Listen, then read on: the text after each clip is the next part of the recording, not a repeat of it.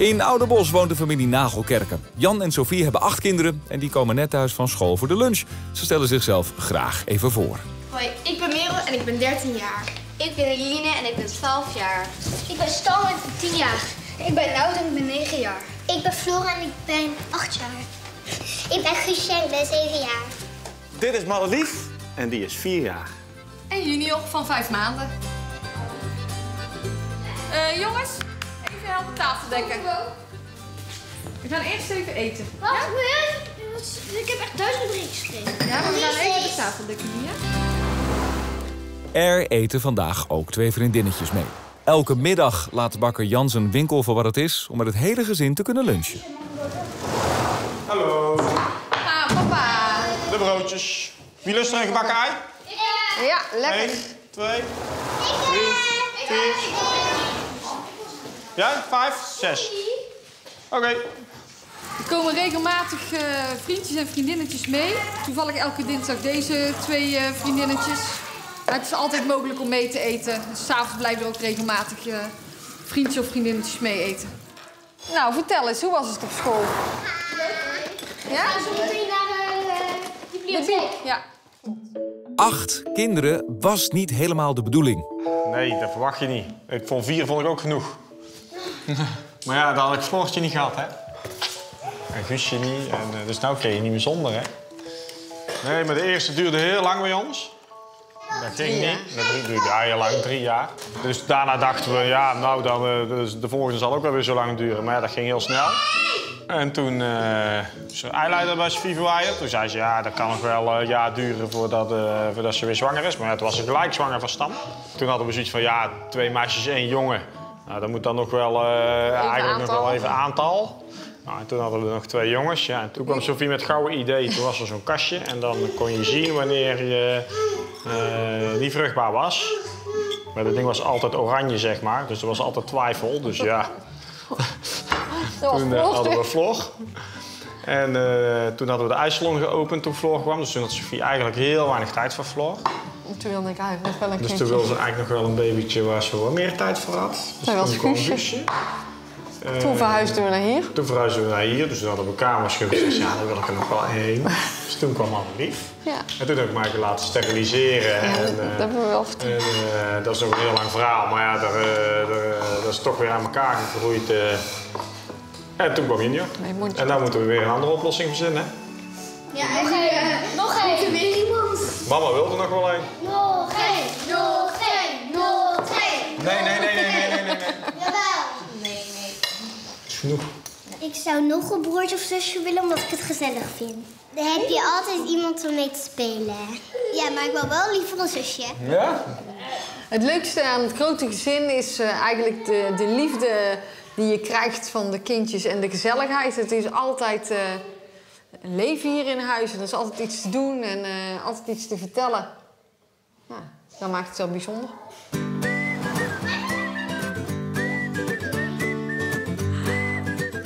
Joriaan, Miguel, tafel dekken.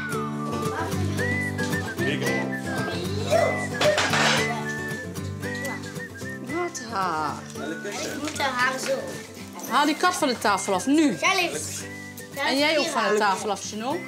Ik wil ook salami. Eh kinderen die schreeuwen krijgen niks. Yes. Dus mag ik alsjeblieft een broodje met salami? Mag ik alsjeblieft een broodje met salami? Goed zo. De hel van de Budenbroekjes is lichtelijk gespannen vandaag. Een dag waar ze maandenlang hard voor gewerkt hebben. Vinden jullie het leuk dat jullie gaan afzwemmen? Nee. nee. Nee? Wat vinden jullie moeilijk? Buikkrabben. Buikra buikkrabbel? Borstkrabbel bedoel je? En Geno, wat vind jij? Ik vind alles makkelijk. Is je alles makkelijk? Ik denk wel dat ze het allemaal gaan halen. Ze gaan nu allemaal eh, gaan ze op. Dus Ik wil weer van het net. De afzemstress zorgt voor veel onrust. Vooral Junot en Jevan misdragen zich. Heb je er, ah, waarom heb je daar geen zin in dan? Even wachten, even wachten. Het saai is. Dat het saai is. Ah. Jevan is niet te stoppen.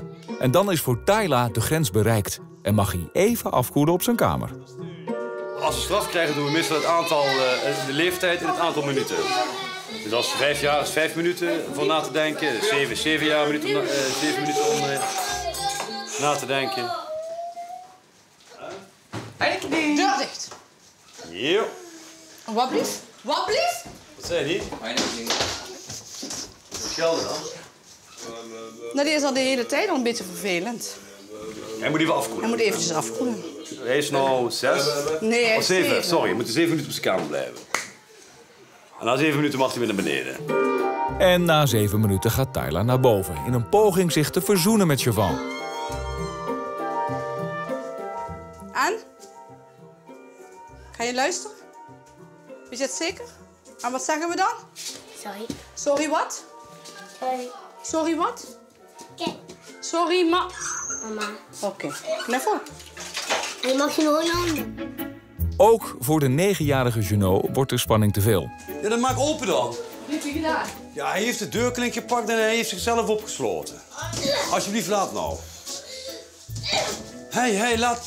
Maar kom, kom, naar beneden. Ja. Alsjeblieft, alsjeblieft. Kom naar beneden, naar beneden, naar beneden. Kom, La- laat hem maar, laat hem maar boven dan. Als hij boven wil blijven, laat maar. Dan gaat hij geen diploma zwemmen. Ook goed, kom. Uiteindelijk komt ook Junot weer tevoorschijn. Waarom haal je de klink er vanaf? Waarom haal je de klink er vanaf? Verwachtte jij? Waarom haal je de klink er vanaf? Maar Junot voelt niet echt behoefte om tekst en uitleg te geven. Hij is niet aanspreekbaar en blijft koppig. Ik weet niet of hij meegaat, moet even kijken.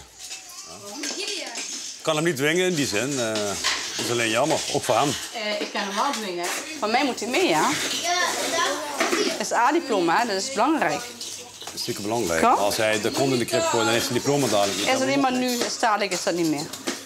Tyla krijgt gelijk. Junot draait bij en gaat uiteindelijk gewoon mee. Oh, ze rennen allemaal naar buiten. Ze kunnen allemaal niet wachten, we willen allemaal gaan. Ja. Nou, loop met jullie bedden. Weg van hier. Gelukkig zijn ze straks van de onrust van de zwemles af... tenminste als ze allemaal hun diploma halen. Als je bijvoorbeeld één jaar bent, dan moet je één minuut op de kamer. En bijvoorbeeld als je twee jaar bent, moet je twee minuten. En als bijvoorbeeld als je die jaar naar de kamer moest, dan moet je hier drie minuten. Krijg jij straf? Ja. Ja? Wat moet je doen? Vroeger was het eigenlijk de nadenkstom, maar die gebruiken we eigenlijk niet meer zo Ja, dat was veel. vorige week nog wel één keer, maar dat doen we echt nooit meer. Vroeger moesten ze op de trap zitten. Als het, werd ge, het, het, het ding is, eh, binnen voetballen, voetbal komt tegen een vaas of iets op tafel. Dan zeg ik, nou leg die bal neer, ga even zitten. En dan niet dan 20. En kan dan eh, 21 en dan met- en als je 12 en Surianne 15. Nou, is zijn telefoon tot 1 januari kwijt. Die is toen hij jarig was. Met 10, uur- met 10 krijg je bij ons een mobiel. Om te gaan oefenen voor de oefenen, maar middelbare. de oefening ging niet zo goed. Dus hij was hem maar een week al kwijt. En 1 januari mag hij weer opnieuw gaan oefenen. En dan moet mama 40 minuten en papa ook 40 minuten. En dan, en dan moet de Roos 6 minuten. En dan de 7 en ik dan 9. Sophie en Jan Nagelkerken wonen met hun kroost in een statig pand midden in het centrum van Ouderbos. We woonden altijd eerst boven de bakkerij. En ehm, dan hadden we eigenlijk te weinig slaapkamers. En toen sliepen er eh, twee op één slaapkamer. Nou, dat vonden ze helemaal niks, want ze wilden een eigen slaapkamer. Nou, toen hebben we dit huis ehm, gekocht. Alles is weer opgeruimd. Dan gaan we even kijken. hè. Dit is de woonkeuken. Eh, Jan die kookt eigenlijk altijd. Dat is zijn hobby. En dat is eh, eigenlijk zo gekomen toen wij net verkering hadden. Toen eh, mocht ik koken. En toen kookte ik uit een pakje. En toen zei hij...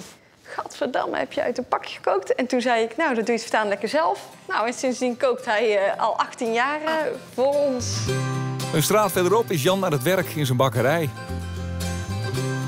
Nu zijn wij eh 20 jaar geleden begonnen. Een eh, jaar of acht geleden kwam, eh, kwam de buurman te koop. Dat was een groentezaak. Daar zijn we een begonnen. En eh, toen kwam de andere buurman te kopen en daar zijn we chocolaterie begonnen. We maken alles lekker zelf. En ik mag altijd veel s'nachts werken. Wat eigenlijk helemaal ideaal is met een groot gezin. Warme worstbroodjes.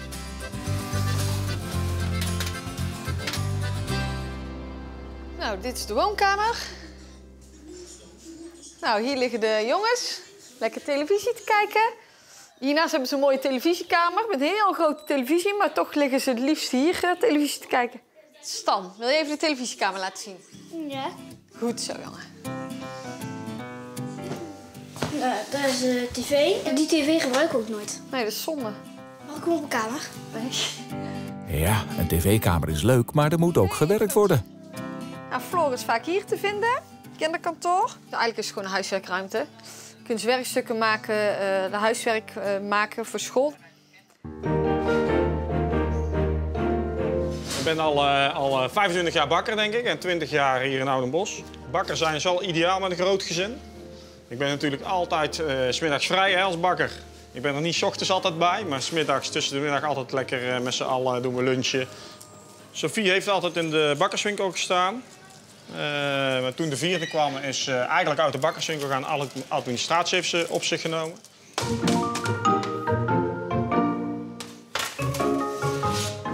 Komt er heel goed uit als ze dat doet, want ik vind het niet leuk. En zij wel. En eh, zo hebben we gewoon een hele goede taakverdeling.